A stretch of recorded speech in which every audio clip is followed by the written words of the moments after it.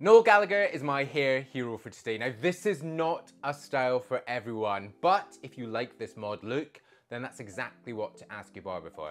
A mod haircut. You're also gonna have a short cropped fringe and a reverse graduation, which means that it's shorter on top and longer on the sides. Now, if you wanna go all out for the mod look, then grow your sideburns. Now for styling at home, you wanna go big on the texture. So something like a sea salt spray or a styling powder will work perfectly. Now if you like these sort of looks, you like haircuts, you like hairstyles, then head to manforhimself.com. I've got hundreds of hairstyles there.